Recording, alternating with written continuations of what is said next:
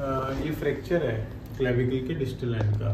मतलब ये जो हमारी कंधे की हड्डी होती है कॉलर बोन हम्म। उसका आउटर पार्ट जो शोल्डर बोन के साथ जॉइंट बनाता है।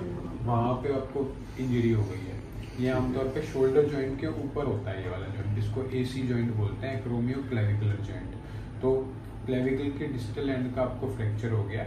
क्लेविकल के दूर वाले पार्ट का दो पार्ट होते हैं उसका एक इनर एंड एक आउटर एंड तो आउटर एंड का फ्रैक्चर हो गया आपको?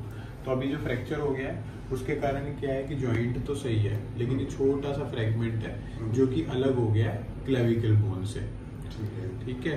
क्लेविकल बोन हमारे अपर लिम्ब में ये काम करती है कि वेट ट्रांसमिट कराती है। जैसे ही आप कोई वज़न उठाते हो तो बॉडी का जो वज़न जो हमने वज़न उठाया वो ट्रांसमिट करती है हमारे एक्सियल सिस्टम में। जैसे हम खड़े हैं तो अब जो वज़न आपने उठाया है वो सारा ट्रांसमिट होता है क्लेविकल की बोन से, ठीक है? और वो सेंट्रल सिस्टम में आता है वेट तो अभी जब आप इसको कोई वज़न उठाएँगे तो क्या होगा कि आपका अपर लिम नीचे चला जाएगा, जहाँ से वज़न आया, और ये वाली बोन क्योंकि आपका एक्सियल सिस्टम चाहेगा कि वो वेट ट्रांसमिट हो, अंदर की तरफ़ आए तो ये ऊपर की तरफ़ उठ जाएगी। तो ये स्किन के ऊपर इम्पेंज करेगी आपको।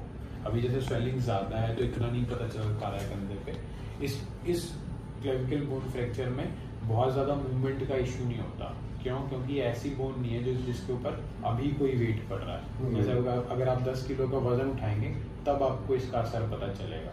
अगर कोई वज़न नहीं उठा रहे तो नॉर्मल हाथ है आपका पूरा हाथ तो नॉर्मली उसमें कोई फ्रैक्चर नहीं है तो उसमें कोई पेन नहीं होगा आपको। क्योंकि वेटलेस है तो। जैसे ही वज़न उठाएँगे तब आपको महसूस होगा अच्छा यहाँ पे कुछ प्रॉब्लम है। तो वैसे कोई प्रॉब्लम महसूस नहीं होगी। पेन इसके अंदर आमतौर पे कम होता है, जैसे आपको हो रहा है। प्रॉपर अगर ट्रीटमेंट की बात करें तो ऐसे फ्रैक्चर्स के अंदर ज़्यादातर लोगों में हमें सर्जरी करनी पड़ती है। जिन लोगों का बहुत ज़्यादा सीडेंट्री काम होता है। ऐसा काम होता है जिसमें वेट लिफ्टिंग नहीं है एल्डरली पेशेंट है, उन लोगों में हम कुछ नहीं करते हैं फ्रैक्चर को ऐसे ही छोड़ देते हैं। क्योंकि आमतौर पर उनका भारी वज़न का कुछ काम होता नहीं है तो उनको प्रॉब्लम होती नहीं है। ठीक है? तो सर्जरी रिकमेंडेड सर्जरी है सर्जरी करनी चाहिए लेकिन एब्सोल्युटली नेसेसरी नहीं है। हाँ ऐसा नहीं करना ही करना उसके बिना काम ही नहीं चलेगा। ठीक है ऐसा नहीं है। उस उसके बिना क्या होगा वो मैंने आपको बता दिया बोन जो है स्किन के ऊपर इम्पेस करेगी। वो थोड़ा आपको विजिबल हो सकती है कि ये बोन जो है अलग से निकल रही है हर बार में जब वेट उठा रहा हूँ तो ये इसका बस वो रहता है। बाकी पेन एज सच आपको अभी नहीं हो रहा तो आगे भी जाने होने की संभावना ऐसी कुछ ज़्यादा नहीं है।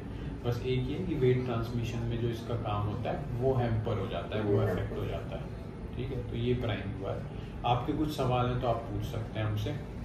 नहीं सर बस मैं यही पूछना चाह रहा था तो ये ऐसी अपने आप ही जुड़ जाएगी या कैसे? जुड़ेगी नहीं है ये जुड़ेगी। हाँ, ये जुड़ेगी नहीं ऐसी रहेगी। ये ऐसी बहुत छोटा फ्रेगमेंट है बहुत बहुत छोटा टुकड़ा है। जब भी कोई भी ऐसी बोन फ्रैक्चर होती है जिसका एक टुकड़ा बहुत छोटा होता है डिस्प्लेस होता है अपनी जगह से हिल गया होता है हम्म। तो ऐसी बोन क्योंकि पास में नहीं है।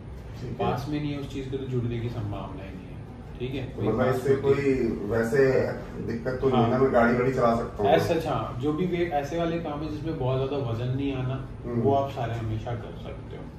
ठीक है? लेकिन हम नॉर्मल जॉइंट चाहते हैं या हम चाहते हैं कि कभी मेरे को वज़न उठाने की ज़रूरत पड़े और तभी ऐसा ना हो हम्म। ये सोचते हुए लोग ऑपरेशन करवाते हैं इसका।